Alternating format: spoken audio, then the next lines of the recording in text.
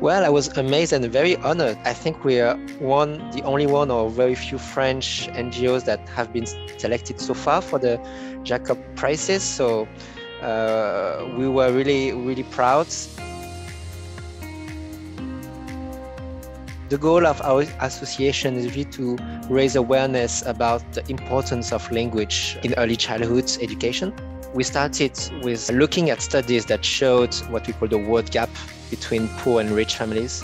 Poor families, on average, can use 500 words, while the more privileged families can master a thousand words.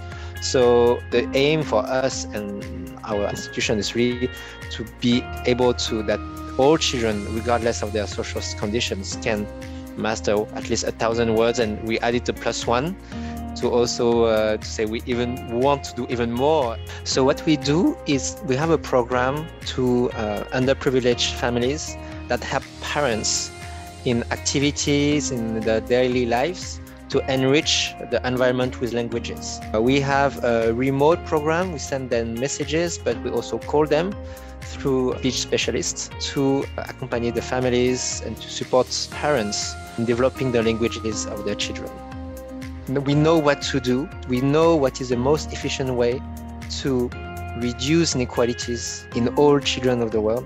It's just in our hands to do something. It's almost like a magic bullet for me. And it's proven by science. It's proven by personal experience that the families have. And it's just in front of us. I really think that now is really the time for a systemic change uh, with these actions.